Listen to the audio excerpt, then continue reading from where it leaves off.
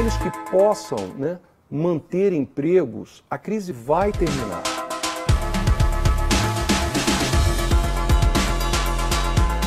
Né?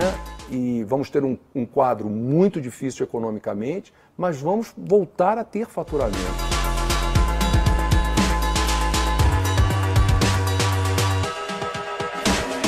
Então, para cada empresa que possa fazer isso, não tem uma reação imediata de demissão, porque no final acaba sendo um erro quando principalmente aquele funcionário que faz a diferença, fora os custos, obviamente, de curto prazo que você vai ter numa demissão nesse momento.